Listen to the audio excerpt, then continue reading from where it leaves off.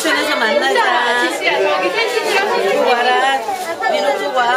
민호야 선생님하고 사진 좀 찍어. 유경 선생님이랑 사진 찍고 가자. 유경 선생님 가서 수하고 수하고 리노하고 유경 선생님 거기서 저, 얘도 리노 앞에 갔어. 앞에 갔어. 그리고 우리 호텔 갔다가